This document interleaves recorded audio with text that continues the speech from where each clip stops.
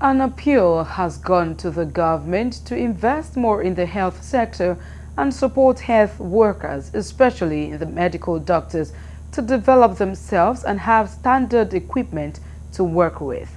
Participants at the PAMO Health Leadership Summit organized for health professionals by the Wellness African Foundation made this known while speaking on the challenges including brain drain confronting the country's health sector. They said the government at all levels must see to the movement of health professionals from Nigeria to foreign countries by encouraging those who are still working in the country.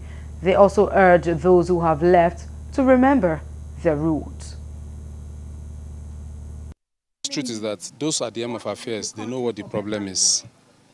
They travel abroad, they know the system that they meet all they need to do is to recreate the same kind of system in Nigeria where the health workers get enough pay for all their efforts, where they work in an environment where all the equipments that they need are available, where the environment encourage them to be able to develop their skills, to be taking care, to be able to take care of their patients.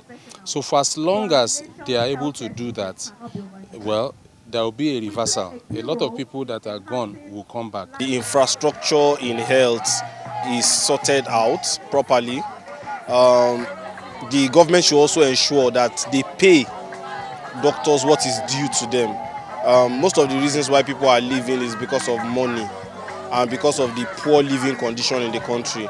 So I believe that if the government can ensure that the working condition is good and that they do the infrastructure and they ensure that the living condition in the country is okay, that will change the story. Uh, we cannot compare health system here with what obtains abroad. There's no doubt we cannot.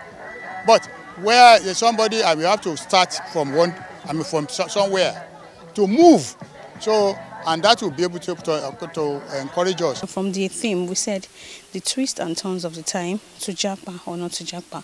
So from the theme, we are trying to say that yes, Japa is a buzzword or a slogan that has to do with immigration of people you know, in search of greener pastures or some you know, softer life and home. So we're saying that yes, um, that decision to Japa is actually a personal one. It can be, it's not, it's it's personal. You know, it's the, it's the person that makes that decision to either stay or to go.